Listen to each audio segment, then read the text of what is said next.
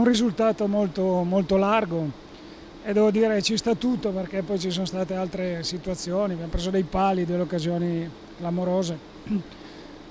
il risultato è sicuramente molto molto buono. È ripetibile quello che ha detto in panchina dopo che si è subito il vantaggio momentaneo dell'Apoel? No, ma ripeto, in queste partite bisogna, poi ci sono sempre delle svolte, è chiaro che gli episodi contano, bisogna giocarle sempre con grande concentrazione, devo dire che però questi ragazzi sono molto bravi sotto questo aspetto, non sbagliano mai approccio, qualche volta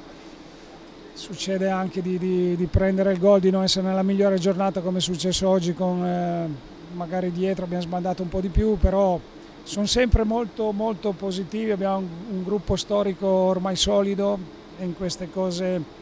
non, eh, non sbagliano di sicuro.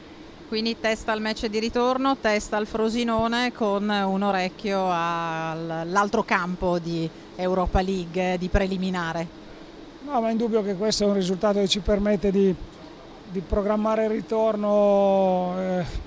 in un certo modo, poi abbiamo la, abbiamo la prima di campionato, poi subito dopo il terzo turno, insomma adesso inizia veramente una fase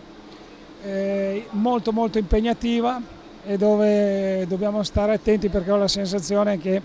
parte il caldo che fa, ma che possiamo pagare un po' di più rispetto all'anno scorso.